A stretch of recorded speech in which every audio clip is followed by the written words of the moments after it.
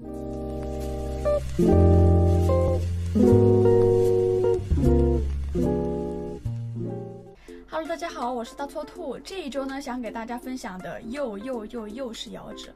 为什么一个摇指这么能叭叭呢？主要因为我也还在学习，所以的话，我想把我自己的一些练习感受分享给大家。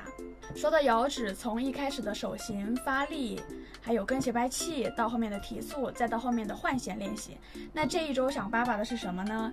想跟大家分享的是，摇指每拍个数也是需要刻意练习的，不然的话就会出现节奏不均匀的情况。而其实这个问题的解决方法呢，其实也很简单，那就是慢练。说实话，练了这么久的古筝，不管是摇指还是其他技法，有一点我是特别深有感触的，那就是慢就是快。现在的慢呢，都是为了以后快起来所打下的基础，所以的话一定不能心急。再细说呢，就是首先要清楚一拍有几个音，然后的话需要确保在不跟节拍器的情况下，把每个音的个数都摇明白。这里的话可以逐个小节练习，或者是两个两个音的练习。当熟悉之后呢，可以再连起来。我现在所练习的《将军令练习曲》的话，一拍是有两个劈托，也就是四个音。这样就为一拍，然后再是逐个小节练习。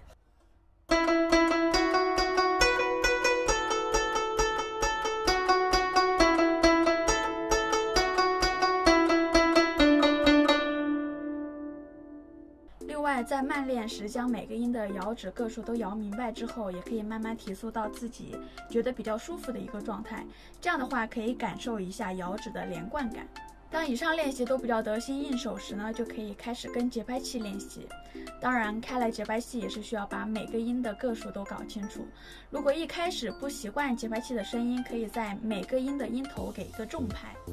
好啦，以上就是本期视频内容。大家在练习过程中遇到问题，也可以留言提问，或是添加我们的微信交流群一起交流学习。